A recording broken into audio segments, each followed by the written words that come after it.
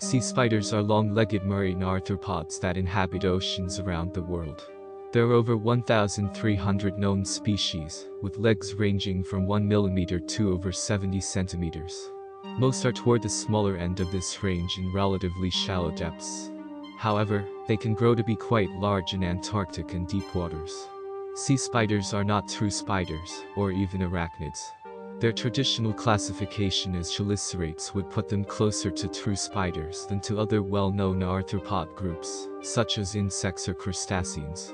However, recent genetic evidence suggests they may be an ancient sister group to all other living arthropods. These creatures have long legs in contrast to a small body size. The number of walking legs is usually 8, but species with 5 and 6 pairs exist. These species do not have the ability to form webs. Instead, they use a tubular proboscis to suck the juice of their prey. There are three lips at the top of the beak, and some even have teeth. Once in the nose, the juice is mixed with enzymes for digestion.